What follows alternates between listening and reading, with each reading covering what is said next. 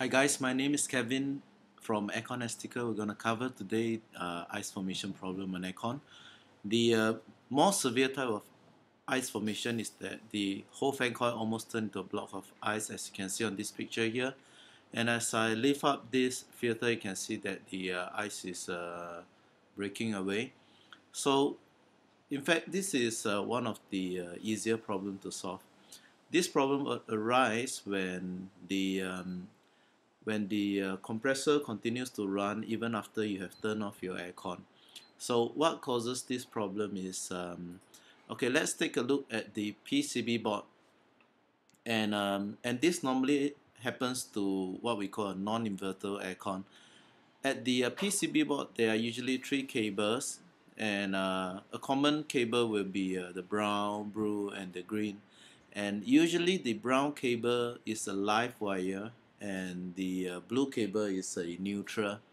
And uh, the green cable is normally used as an earth wire but do not be confused when it's used on air conditioners because um, in air conditioners it's usually labeled 1, 2 and 3 and uh, at the condenser it will also be labeled 1, 2 and 3 and as long as you match them correctly if brown is uh, connected to one then make sure that one on the indoor PCB board and uh, one at the outdoor condensing PCB board. So it doesn't matter um, what is the color code. But as long as you are an electrical engineer you know that brown is live but in air conditioning do not assume that brown is live so it's better that you test them out. And um, so let's assume that number one is alive and uh, number three the the blue color cable is the neutral. So how a non-inverter aircon works is that the live and neutral supplies the voltage that is necessary to run the aircon to power the fan to power the control logic. And um, what we call a cut-in signal is that when the when the temperature sensors they have after analyzing that uh, okay uh, I need some cold air. So for instance if you set the remote controller at 25 degrees and the room temperature currently is 26 then obviously the, comp the compressor needs to be running because to bring the temperature to 25 so before it reaches 25 degrees Celsius there will be a cut-in signal. For non-inverter the cut-in signal will be uh, the uh, voltage as uh, supplied by your grid line. So in Singapore, that'd be uh, 230 volts. So what, what it does is that in this circuit board, there is a magnetic switch that closes and then it supplies the voltage of the 230 across here and providing a positive 230 volts to the condenser. And over at the condenser, the um, cut-in signal will be used to feed on a device which we call magnetic switch so this 230 volts comes in, it activates an electromagnet, closes the switch, and um, and that supplies the once the switch is closed, it supplies the voltage to run the compressor. So when this fella has when your room aircon has achieved the achieved the desired temperature or you have turned it off using a remote controller, then of course the system shut down and uh, most importantly is that it breaks the circuit breaker and stops sending a 230 volt across uh, the uh, what we call a cut-in line.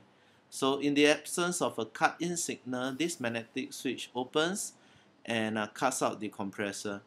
So the most common problem is that this device, the magnetic switch, actually jams in place. So when this jams, despite you turning off the aircon and thereby not supplying a cut-in signal, the uh, the compressor will continuously be running. So since the aircon blower is not running it's not discharging the uh, cold air and uh, the situation can be so bad that it turns into a block of ice.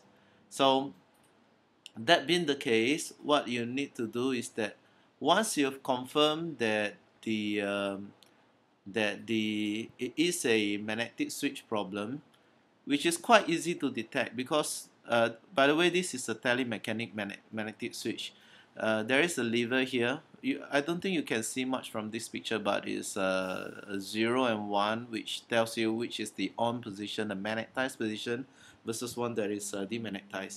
So once it is cut in, you can find that this, this lever moves, and you can even use a test pen or any device to try to push to see whether this thing works or not. If it's jammed, it's easy to tell. Quickly replace this device and it works. And whereas some is not as straightforward is that this magnetic switch is inbuilt into a PCB board. So if you know how to replace the PCB board by desoldering and uh, soldering on a new one, of course you can do that. Or otherwise the PCB board needs to be replaced. So um, the uh, a jam magnetic contactor is the uh, single most, the most common type of problem that causes this enormous ice buildup. The other less common problem is that, as we have mentioned, right, when you whenever you turn off your aircon or when you whenever you turn off your aircon, there should not be a cut-in signal. But if the PCB board is faulty, because inside this PCB board there is also a relay switch, and if this relay switch is jammed, then obviously is that when you turn off the aircon the uh, it is still sending a positive 230 volts which then closes the magnetic switch and thereby causing all the uh, problem of the icing problem. And a third uh, problem is that okay these two cable along along the way somehow um, the cable is damaged and and it causes a voltage leak from this 230 live and uh, transferring onto this uh, signal. So meaning to say the uh, the cut-in signal is not coming from the PCB board but in between the wires. It's easy to troubleshoot this is that normally what we do is that we will remove the cable from this uh, this connector and then you measure if there is a voltage from here.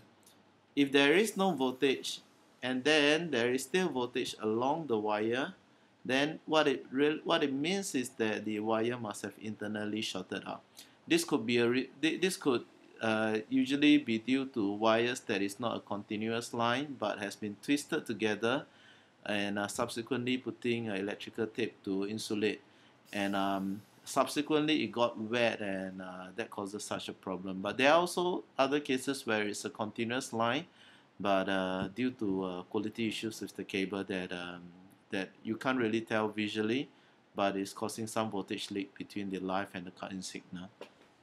Alright so we have just ended the part on the severe ice formation on fan coil we're going to move on to um, a more common type of uh, ice formation on the aircon as you can see on this picture there's uh, ice forming on one to two coil on the fan coil. This is uh, due to uh, refrigerant shortage. That's because when the gas level drops below certain level, the uh, flash temperature is uh, sub-zero and that causes ice to form. So this is a really simple problem. Recharge the gas to the adequate level and you'll see that the ice will slowly disappear. And uh, despite this being an easy problem, this is the worst problem you can experience. That's because if you do not um, detect where is it leaking from, then it will slowly run out of gas and you're going to get back to the same problem after some time. So um, do catch up on uh, my video uh, on uh, gas leak, which I will cover in the later section of the um, uh, video tutorial. Uh, thank you once again. My name is Kevin and I'm from Aircon Astiquer. Bye bye.